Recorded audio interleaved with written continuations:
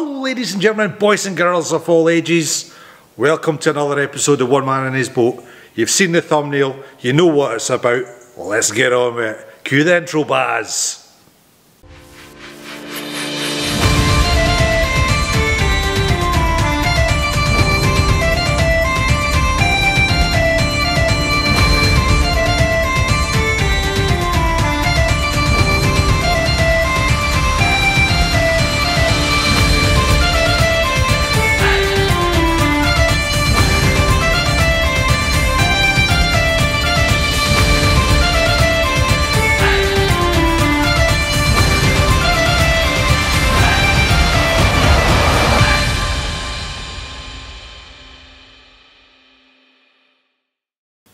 Right, ladies and gentlemen, boys and girls, before we go on to anything else, as usual, a little bit of news.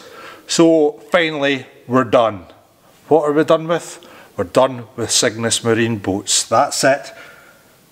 We finally got these bits of stainless steel from Cygnus Marine Boats, and this is the last piece of the puzzle. So, before we do any painting today, we need to get on and actually fit these. Right, before we go on to actually getting some work done on this vlog, I just want to say a huge thank you to Cygnus Marine Boats, to Steve, Sam, Sarah and everybody else that was involved. And a big shout out to our Karen. Thank you very much. Karen is from the original Cygnus Boats, so she's the professional in the line. um, thank you very much guys. You can tell she's been built properly. There's been a lot of time and care went into this vessel and I hope I'm doing it justice for you guys as well. I hope you keep following us too because things are going to happen soon. Soon we will get that keel wet and we'll get some sort of fishing in for the winter. Fingers crossed, let's hope so, eh guys? It's been a long haul so far. right guys, in other news, we've had the sign writer up this week. Lovely fella but I'm going to go on more about him in his own vlog while he's doing the work. So you'll get to see the process he actually, um, the sign writer doing what he does best. And I can't wait to see that myself. So what we've done is we've had a wee uh, day's thinking, he's going to knock things up. We're going to pass it across to the fish officer to see if they'll accept what we're planning.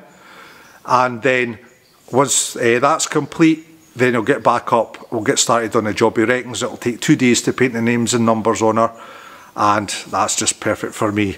So until then, what I want to do, weather's starting to change a little bit, it's getting a bit cooler now, we really need to rattle on with these painting jobs and the fiberglassing jobs. I want to get the bottom primered up, ready for anti-fouling, leave it to set a wee week or so, get anti-fouled, you'll probably see it all in this video. But first of all, we've actually got to fit these uh, Bilge Keel Protectors.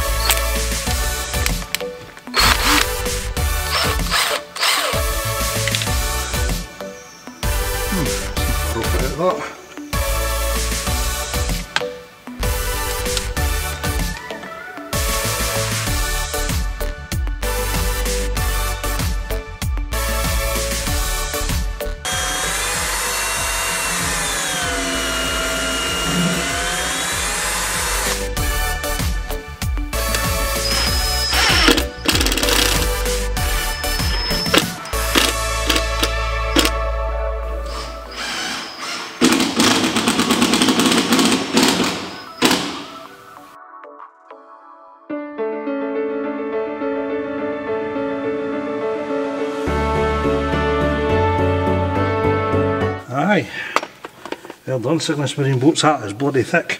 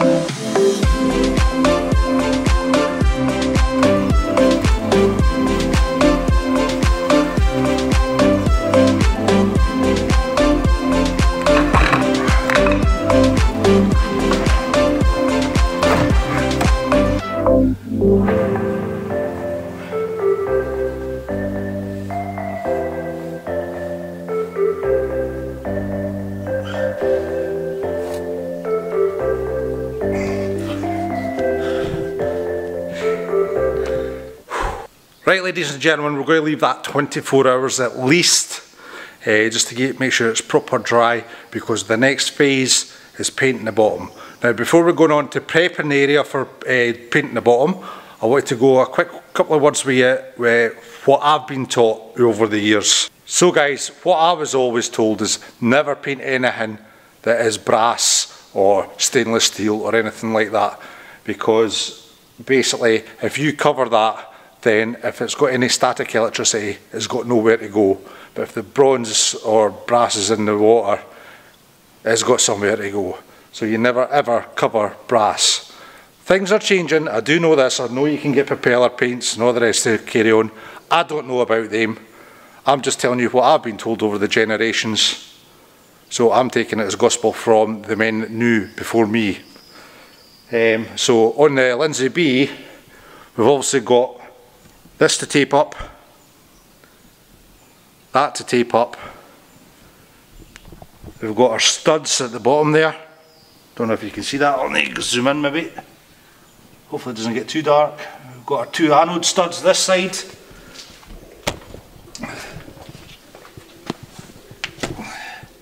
Ah, it's definitely too dark this side. Right, give us a second guys. There we go. That's a bit better, isn't it? Also, we've got our two anode studs this side. Uh, we'll get them taped up as well. If we look down the boat a little bit, I'll place shoes first before I move the light. You can see that brass chevron thing there. Um, that's for the radio frequency earthing point. And then, come with me, come with me. Oh, come with me over the rolling sea.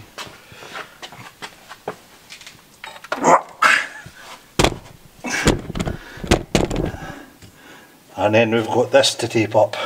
So as you can see ladies and gentlemen, there's still a lot to do, a lot of prep work before we even think about that. But before we even tape up, we've got to wash from the waterline down, get all the muck and the scum off, Oh, and that reminds me, I want to talk to you about uh, galvanising, painting over galvanised material. Right guys, I wanted to have a quick word about uh, painting over galvanised material. Now, I've had an extensive look online and the rule of thumb seems to be anything over 12 months, it just needs a quick wash over and then you can get on with your primers. However, if you've got anything younger than that, say six months or something, you've actually got to get a good wash down a wee run over with um, 240 Scotch Brite or something like that and then a wee wipe down with vinegar. Now that'll take all the residue that's actually on the galvanising itself. But luckily for us, we're at the 12 month point, we're past that actually, so all we need to do is give everything a really good wash down and then we'll get on with the primers, which I'm going to show you in a second. Right guys, because the Lindsay B is brand new, I want to keep the bottom decent for as long as possible. So instead of just whapping antifouling straight onto the fiberglass, what I've decided to do is actually put a barrier coat between the antifouling and the bottom of the boat itself. That way you're giving the glass more chance A to set and B you stop actually getting porous with being in the water all the time. I know the antifouling does that anyway, but if you get a little mark then this is just another sort of protection bubble. And the way we're going to do this is by using these primers. Now this is a two-pack primer. This is a like a paint and a hardener. And you mix them both together and you put that on the boat with a roller system. But then what we're going to do once that's set is we're going to go on to our second which is another Hempel water system and this is for underneath the waterline and we'll put that on top of the twin coat and then that'll give us another layer before we put the final layer of anti-fouling on. Right boys and girls, this is the anti-fouling. This is the last of the three layers and this is the one that does most of the protecting of your hull uh, from all the sea creatures and everything like that. So that'll be last to go on. Notice it's still the same make as what the other two barrier coats are. That is very important. Try not to mix your stuff. Try and keep it the same company because they're already they've already been developed to actually work together, whereas you have one make and then another make, they might actually counteract each other and you might do more harm than good. So we're sticking with Hempel, we'll do the uh, twin pack first, we'll get our oh, nicey nicey with that, we'll let that dry, then we'll chuck the other barrier coat on and then a final coat of anti-fouling. In fact, I might get two, shh, depends how much is left in the tin. So ladies and gentlemen, I hope that gives you a little bit more insight about what we're going to do to protect the bottom. Not everybody's going to do that, everybody's got their own ways of doing things. This is my way. Overbuild Barry, over protection Barry. It's always the same. I'm not, I'm not going to change, especially the amount of money that the family has spent on this vessel. I mean, you've got to protect your interest, haven't you? Right guys, we'll get on with the washing tomorrow because today I've now got to go taxi duties. School's out soon, so I'll catch you in the morning.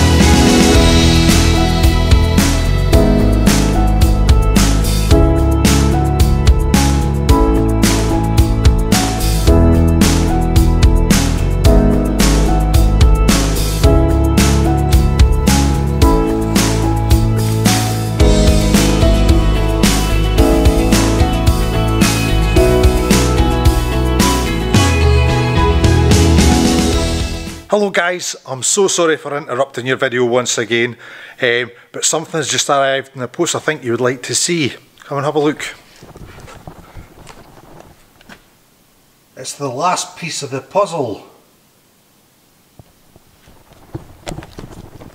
Now for those of you that don't know about boats, that's the steering helm. That's a bit, the big wheel goes on and you turn and it turns the boat. Anyway, what I'd like to say is thank you to Stephen Andrews from ASAP Supplies. Now, this may be the only one in the country. That's how cracking this lad has done a job for me. Um, basically, a few months ago, I uh, needed an exchange because my hydraulic engineer suggested that I get one with a check valve. So when I went to inquire about it, they would say they'd do a swap with me, but they couldn't get any because of the COVID, obviously. Uh, it's really knackered up a lot of things. So they kept me in the loop and they were really good. Every month they were there saying, look Barry, there's nothing to do yet. We're due at the end of August. Uh, but if anything comes up, meantime, we'll let you know. And lo and behold, bang, there you go. Stephen was straight on the internet. Barry, we've got one in stock. Do you want it? Straight on the phone, paid for it. Voila. You can't ask better than that. Another tick in the box for ASAP Supplies. And thank you so much, Stephen. You're a dancer, pal. You're a dancer. Right, I'm going to be quiet now. We're going to get on and get this bottom painted. If you're wondering why it's so dark in these videos to now, come and have a look with me. This is what we've got to put up with. It is thick. It's been like this for two days now and it's no very good for drying stuff. Thank God there's hardener in the first coat, eh? right, I'm going to shut up now and we'll get on with it, shall we guys?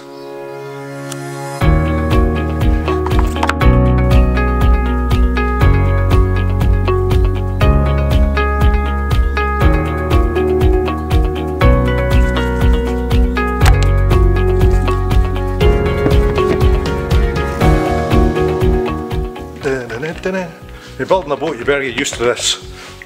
There's a lot to do. Hey, get a stick, get a.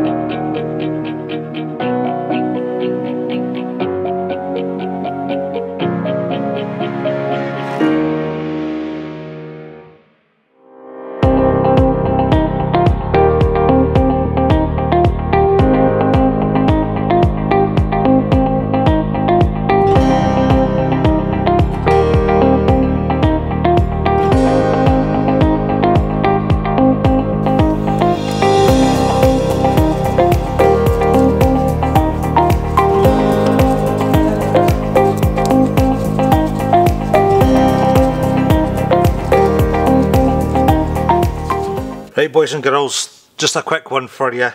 This is what happens when you didn't put the right types of paint together. Basically I tried to thin it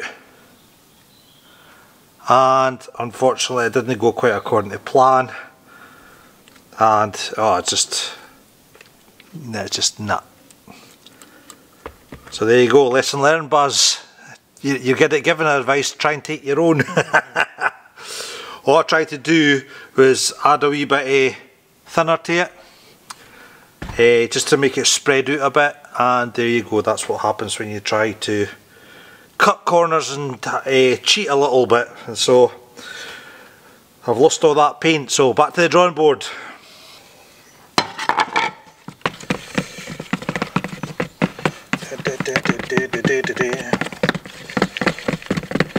Right, we'll get this mixed up and we'll get it on.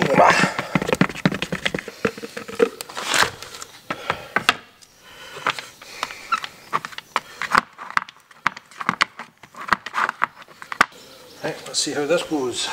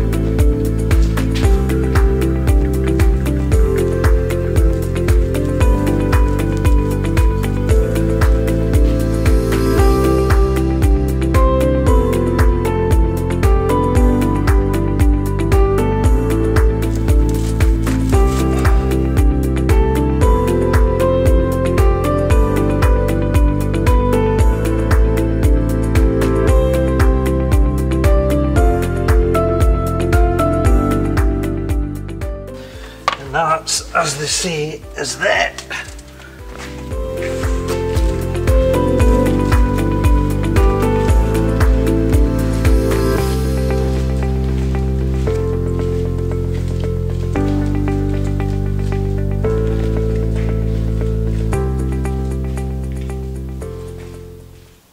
Right, ladies and gentlemen, boys and girls, I'm afraid I have to knock it on the head at that. It's all due to the fact I was wanting to make this one long video, however, after spending hours editing every night, I'm seeing how long this video is getting. So what I'm going to do now is break it down into two parts. Part one you're already watching, part two next week. So that's something you can look forward to. So if you like this video, do the usual. Please give it a thumbs up. Write a comment below if you have any questions. Subscribe to the channel. You know that's the one I want. It's the one you really need to do and tick that notification bell and YouTube will make you feel very special indeed my friends. Okay, until next week, have a good one. All the very best.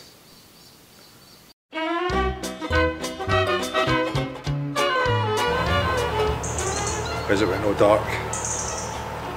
You're all dark. Why are you dark? I don't understand why you're dark. Is that a wee bit better? Is that a bit better?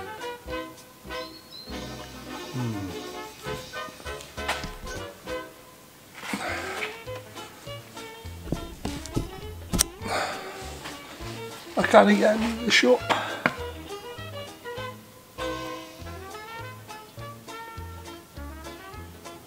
No, that's not going to do it. Right, ladies and gentlemen, boys and girls, before we go on to anything else, a little bit of news. Does that look okay? And that was the last piece of the apple pie, as they say. Did they even say that, Barry? Who knows? We got them from Cygnus Marine Boats and it's the last piece of the puzzle. There you go, that's what they say. Uh, but first of all, we've actually got to, so I want to get the bottom at least um, primered up before uh,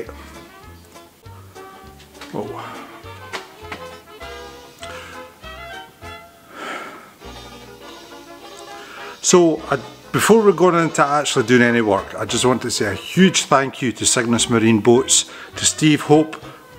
Is it Hope or is it Pope? I think it's Pope. Right, totally overexposed. That's better.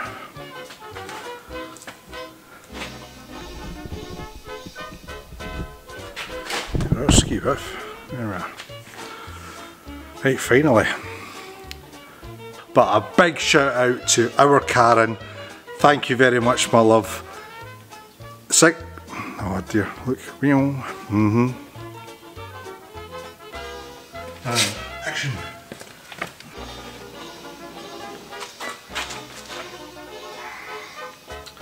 It's a bit of the dark side. Welcome to the dark side.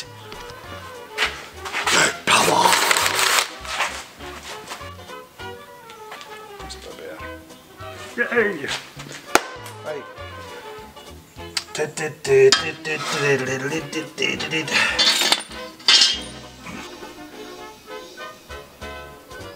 It's a little bit too dark.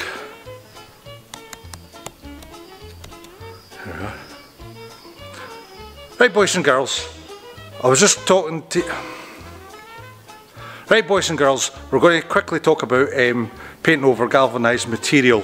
Now, the rule of thumb is nothing over 12 months. I'll say that again. That was just nonsense. Absolute nonsense. Sorry guys. It's like I know what I want to say. Oh, that's pretty good. Right, we'll take it for the Right guys, because the Lindsay B is brand new and I want to protect the bomb.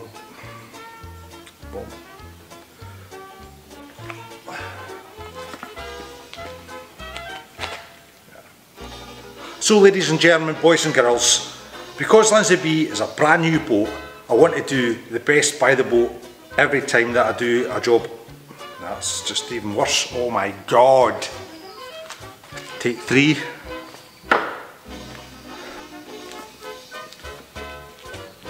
Right ladies and gentlemen, because Lindsay B is a brand new boat, I want to do what I can for the boat. Should have left the first one, that was the best one. Take four. Right boys and girls, because the Lindsay B is a brand new boat, I want to do the best by the boat every single time. So, in order to get the boat, bottom of the... Take five. This is it, Baz. This time, come on, you can do it, son. Right, boys and girls, because the Lindsay B is a brand new boat, I want to do best by every single time. And in order to do that, we need to look after the bottom as well as everything else on the boat. So, I've done it again. I should have left the first one. Jesus. Right, ladies and gentlemen.